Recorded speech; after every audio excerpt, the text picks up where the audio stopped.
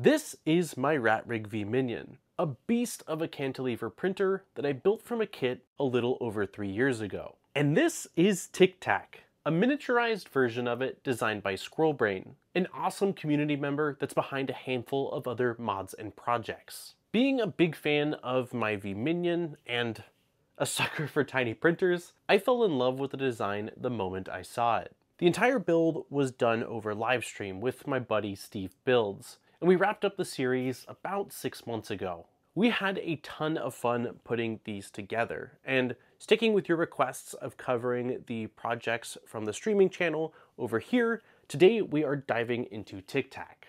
In this video, we'll take a deeper look at the project, talk about sourcing and building, and I'll share my overall thoughts based on my time with it so far. So with all that being said, and without further ado, let's get right into today's video.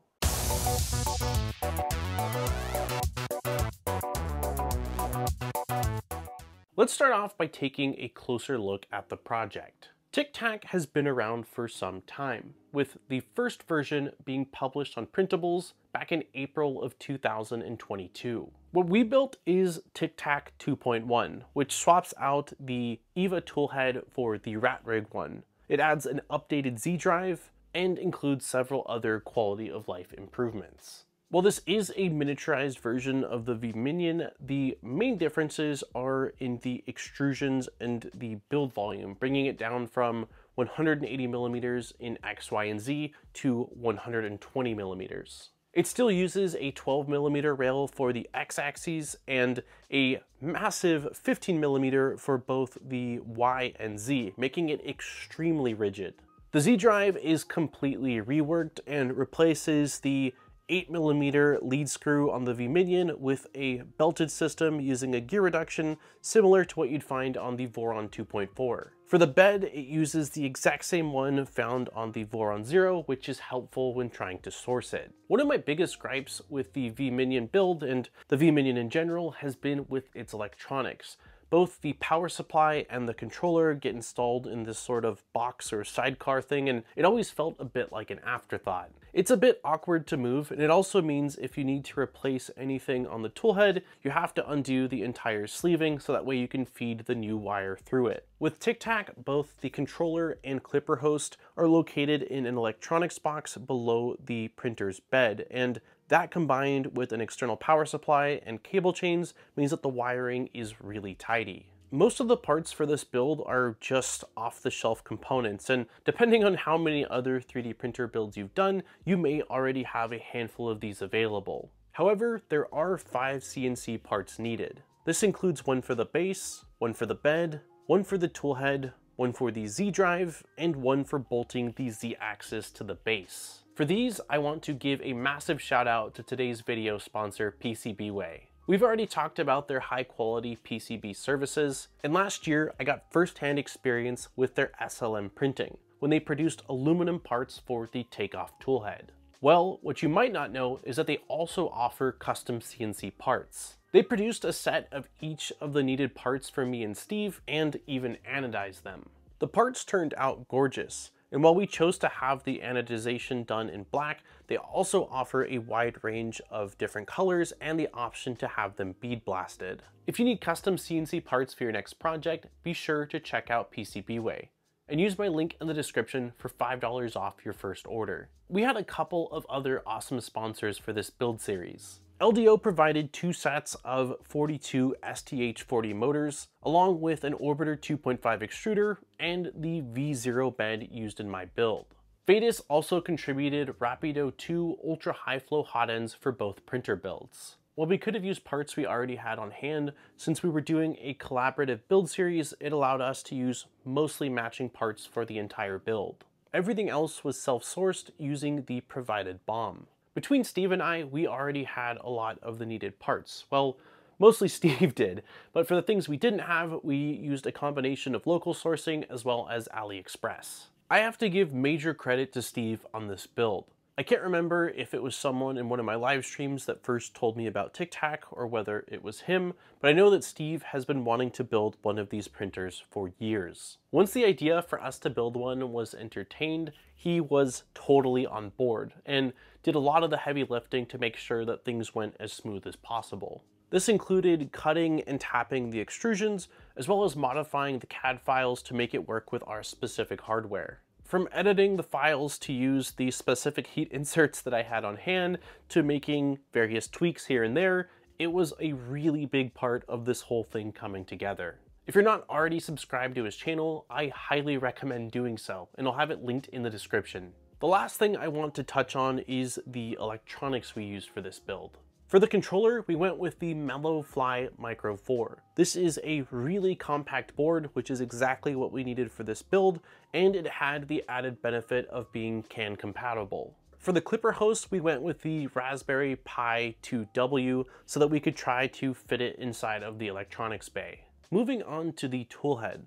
For this, we used the Mellowfly SHT36V3. Steve already had a couple of these on hand, so he was able to just send one over, and we felt like it would pair nicely with the Micro 4. We really wanted CAN bus so that we could minimize the wires coming off of the toolhead, plus it meant that we could swap out the inductive probe for an eddy current sensor. Totally overkill for a printer of this size, but that was kind of the point. For the power supply, I had a 24 volt 10 amp external one I'd picked up for a previous printer build that worked out perfectly. Now that we know a bit about the printer and the hardware that we decided to use, what was the build process like? For the most part, the assembly process is just referencing the CAD file, but there is a PDF file that will take you through assembling the frame as well as the rails. Unlike many of the other printer builds I've done over the years, this was just a fun project that was not put together to make kits and sell them, or even have any sort of a community form around it. Squirrelbrain had an idea for a crazy little printer that he decided to share, and it's nice that there's even a PDF to kind of get you started. Much of the hurdles we ran into during the build were due to order of operation because of the compact nature of this printer, or trying to specifically get the parts that we chose to fit in place. I specifically had to play around with the wires on my toolhead board a bit to get everything to fit, as well as make some last minute adjustments to the eddy current mounting point so that way it would trigger when the nozzle touched the bed.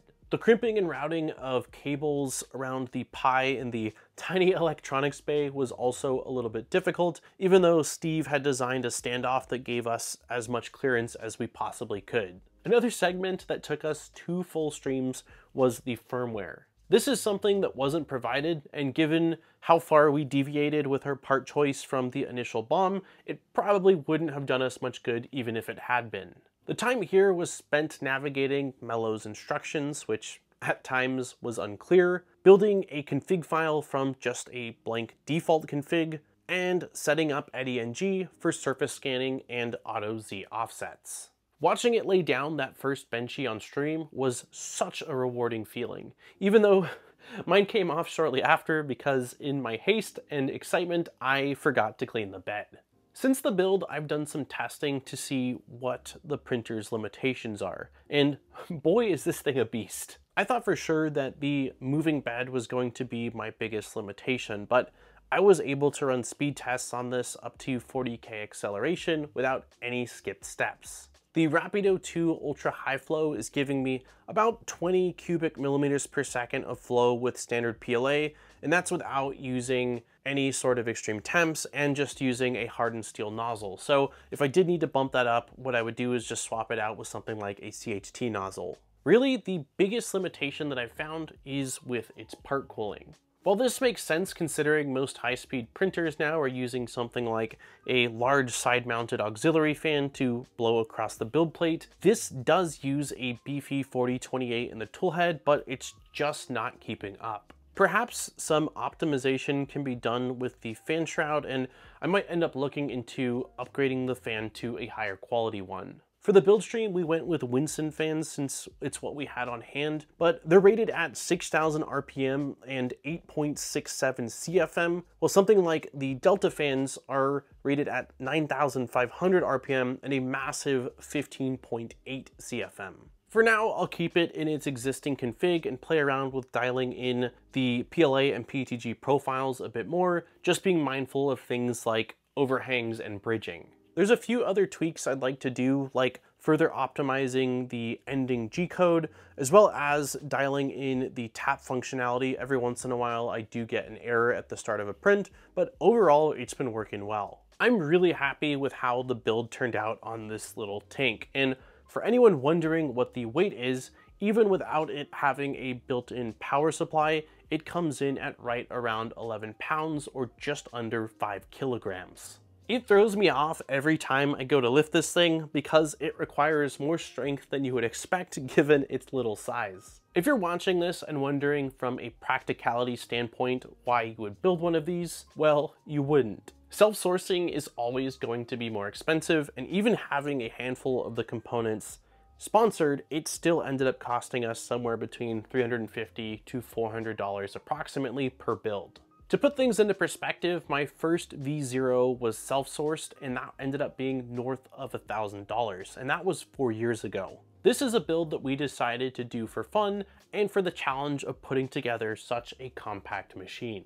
If you have a handful of spare printer parts and the ability to do some CAD work, all of these step files are available on the printables project page, so you can customize this as much as you want to make it work with your specific hardware. With the growing popularity of CNC milling or routing in the 3D printing space, if you have something like the Milo or the upcoming Voron Cascade, you can cut out those aluminum parts yourself, which would also save you some additional money. Squirrel really designed something special with this machine, and it was a real treat watching it all come together. My V-Minion now has a sibling, and I have another great cantilever printer in my arsenal of machines. And that's been Tic Tac. I hope that you enjoyed this video and that you have a better idea of what the project is and what the process is like around sourcing and building one. I'll have links in the description over to the project page if you want to find out more. And if you missed the stream series, I will also have a link to the playlist so you can go check that out. On that note, don't forget to like and subscribe for more great videos. We make a video just about every single week, so there's always fresh content coming your way. And if you want to support the channel further, I'll have links in the description over to our Patreon, where there are some really awesome rewards. Huge thank you to all of our existing Patreon supporters. I appreciate each and every one of you for allowing me to come back every single week and spend more time doing what I love, which is making content for you all to enjoy. On that note, this has been Daniel from Modbot, and I look forward to seeing you guys in my next video. Peace, guys!